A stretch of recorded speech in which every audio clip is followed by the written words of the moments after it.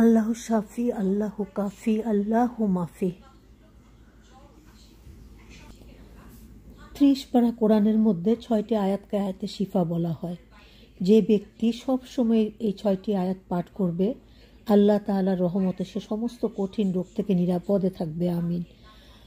আমরা আসলে মানে সবার উদ্দেশ্যেই বলছি, ধর্ম, বর্ণ নির্বিশেষে সবার উদ্দেশ্যে বলছি, বিশ্বাসের সাথে আয়াতে শিফা রোগ মুক্তির জন্য পাঠ করে দেখতে পারেন।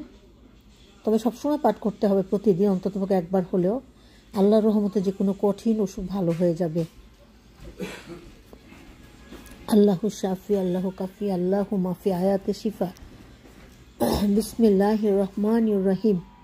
ওয়াইয়াশফি সুদুর আকমি মুমিনিন। ওয়া শিফা উল্লিমা ফি সুদুর।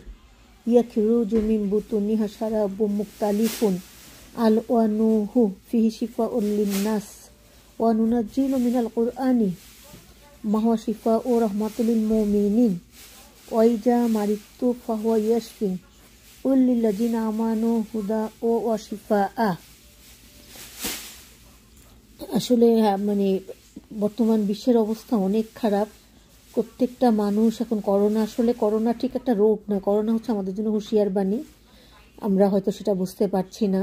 আমাদের সৃষ্টিকর্তা আমাদেরকে অনেক ভালোবাসেন সেই জন্য আমাদেরকে কতভাবে হিদায়ত করার জন্য, আমাদেরকে সঠিক পথে আনার জন্য তিনি কত রকম চেষ্টা করে থাকেন। এই যে করোনা ভাইরাস এটা থেকেও কিন্তু আমরা অনেক কিছু শিক্ষা নিতে পারি। আমি আসলে অতি ক্ষুদ্র একজন মানুষ, তবু মানে আল্লাহ পাকি আমাকে সৃষ্টি করেছেন, শ্রেষ্ঠত্বের মর্যাদা দিয়েছেন। সেই জায়গায় দাঁড়িয়ে আমি বলছি যে আসলে এগুলো হচ্ছে অনেকে এগুলো মানতে রাজি না, কিন্তু এগুলো সত্যি কথা যে এগুলো হচ্ছে আমাদের পাপের মানে জন্যই মানে এই জিনিসগুলো মানে গজব হিসেবে আমাদের মাঝখানে চলে আসে। এবং কোরআনে এসব সম্বন্ধে স্পষ্ট ব্যাখ্যা আছে। চাইলে কেউ বাংলা মানে কোরআনটা কোরআন শরীফকে বাংলা তর্জমা করে পড়ে দেখতে পারেন। তাহলে অনেক কিছু বাদ দিলাম। এই বর্তমান পরিস্থিতিটাকে কীভাবে মিলিয়ে নিতে পারবেন? মানে সত্যি অবাক হয়ে দেখার মতো। সেই জন্য বলি যে আসলে আমরা প্রত্যেকের মানে আমরা মানে মানুষ। আল্লাহ আমাদেরকে মানে আসলে সৃষ্টি মানে সৃষ্টির শ্রেষ্ঠ মর্যাদা দিয়ে পাঠিয়েছেন ভালোবেসে আর আমরা তার সেই ভালোবাসার মর্যাদা কতটুকু মানে দিচ্ছি? একটা কথা আছে যে একজন পাপ করে দশজন পুড়ে মরে। এটা সত্যি কথা।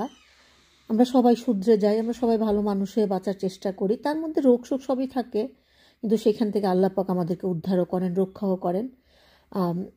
মানে আসলে আল্লাহ পাকের কাছে এই দোয় আমরা ভিক্ষা চাই যে আল্লাহ যেন আমাদের করোনা ভাইরাস সহ সকল প্রকার রোগ, মুক্ত, সুখী, সুন্দর জীবন দান করেন, আমাদেরকে নিখায়াত দান করেন, আমাদের ভালো কাজে, ভালো পথে, সত্য সত্য পথে এবং আল্লাহর মানে নিয়ম অনুযায়ী চলার চলার তৌফিক দান করেন।